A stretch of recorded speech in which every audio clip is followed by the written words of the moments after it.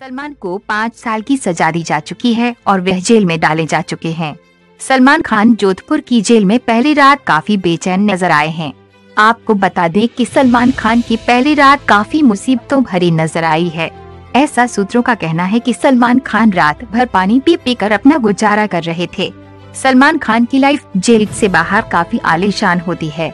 Food for Salman Khan jail, वह jail के बाहर जहाँ दोस्तों के साथ मिलते जुलते हैं और पार्टी करते हुए नज़र आते हैं, लेकिन जेल के अंदर सलमान खान के पास करने के लिए कुछ भी नहीं था। न तो उनके पास लैपटॉप है और न ही टेलीविज़न है, न ही जेल में दोस्त हैं और न ही परिवार वाले लोग हैं।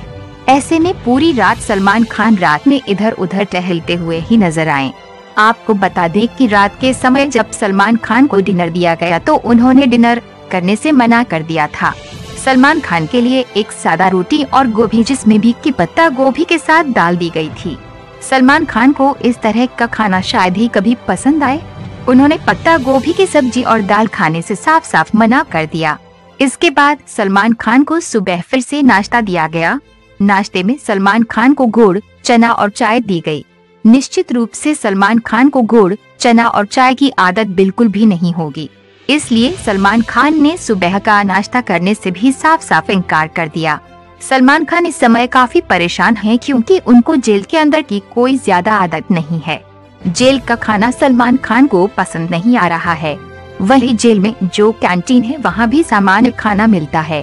कैंटीन में समोसा और ब्रेड जैसी चीज़ें मिलती हैं। सलमान खान शायद वे भी खाना पसंद ना करें।